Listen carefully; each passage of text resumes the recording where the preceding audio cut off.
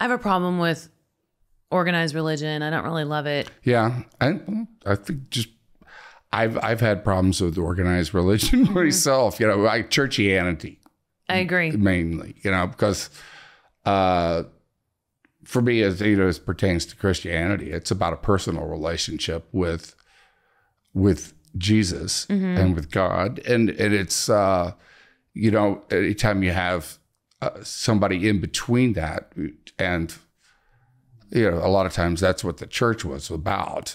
You know, you know, going back to selecting which books were going to be in the Bible. You know that they had that uh, Council of Nicene where they decided what what it was going to be, and, Right. And it, it kind of gets away from what it originally was. I think. I agree with you 100%. I've always said that anything that goes between you and your relationship with God is false. Like there shouldn't there shouldn't be anything that is a step between that. Yeah, but at the same time, I think the there is the you know, the church that Jesus set up. He did set up the church, and as you know, as it's supposed to function, and it's uh, the way that it was originally supposed The to body of function. believers. Yeah, but then you have human yes. coming in uh, into that, and uh, that we just uh, all of us we just have a way of messing all that up. Which I love the title of your new album, a Christian album for yeah, it's, singers. it's called Fallen, a, Yes. gos- a gospel record for sinners. I love that. yeah, because We I all like are. to say I wanted to have the biggest possible audience. So that's yeah. what that is, and uh, um, it's it's kind of it's a my spiritual journey, I guess. You know, throughout my life, it's Mm-hmm. like uh, songs that I grew up in church with in the Baptist church that I love, and uh, songs that I've written you know, Right. that have to do with certain uh, times in my life. It's a great record. I really do love it. Oh, And thank it's- you. I appreciate that. makes me feel good, you know, because I'm Great.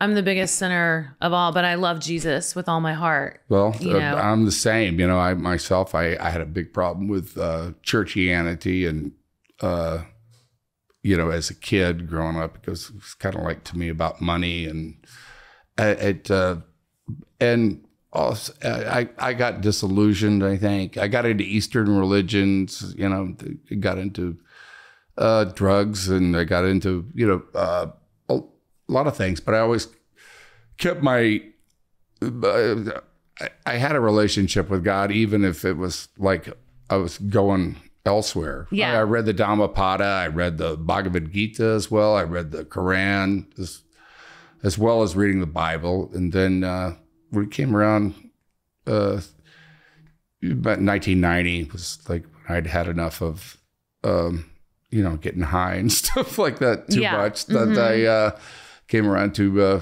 reading the Bible again. It was the red words of Jesus that that uh, spoke to me, and that's really where my real personal relationship started I with I, God. I love that because it is the red words of Jesus that and and people are so confused so often about what it means to be a believer. It's like, you know, I I can't go to church or I can't go to God until I've straightened up my life. Yeah, And it's just the opposite. It's- like the more messy your life is, the more you should go to God because he loves us unconditionally and meets us where we are. Yeah. Uh, People sometimes miss the point about that. And, you know, I think a lot of the judgment and stuff that seems to be associated with church and with, you know, uh, it's that we're already redeemed. We're already, we're sinners and at that, but we're already forgiven for that. Yes. In a Yeah. sense, because,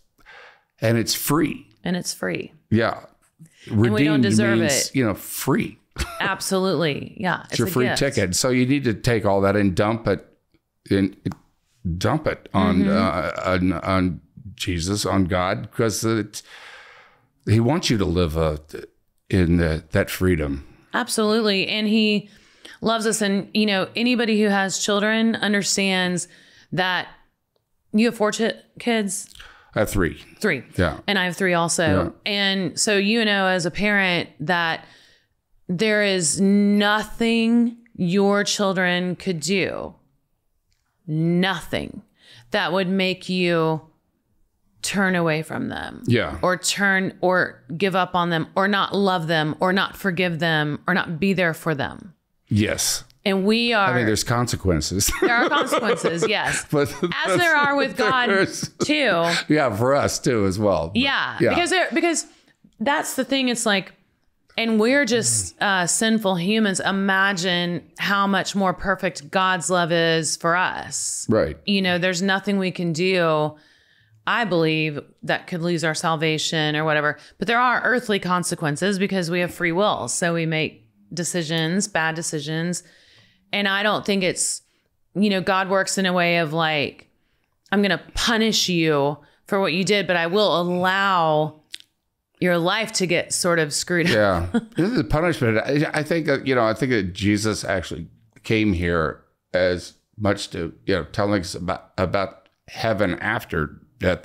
But I think he also was teaching us how to have heaven on earth Right. here. And, and in that sense, it's the, uh, what you call sin or whatever it is. It's about if you live in this way, if you live in this way, and if you do in this way, then you're going to feel in this way, and you, your life is going to be changed by that. Right. And it's like living in in uh, having heaven on earth. In Correct. other words, instead of living in your shame and your uh, you know all the Guilt. thing, guilt, anything that the, the world brings upon you. And those are all lies from Satan. I mean, the one command, the biggest command that God has for us is to not worry, Yeah, and not fear. yeah, You know, and I definitely struggle with that. And that that's sinful. I mean, you you are not supposed to.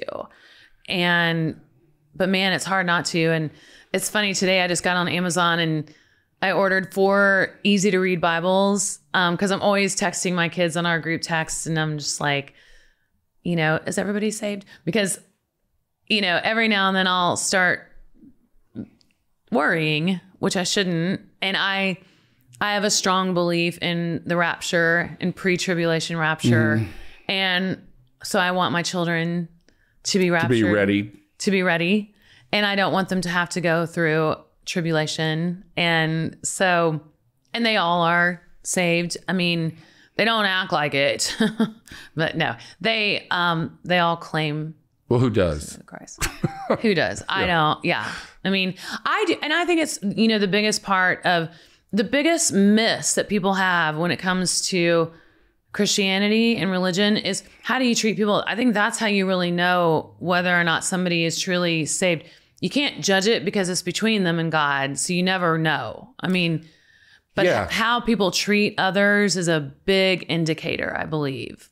Yeah, it, it's that's that's all about like yeah, taking the log out of your own eye first. It's Yes. really not my role to judge anybody else. Mm. Yeah, I do. I, like to judge I'm people kind of a though, re- but Yeah, well, I guess we all do in spite of it, you know. I'm I'm bad at gossiping.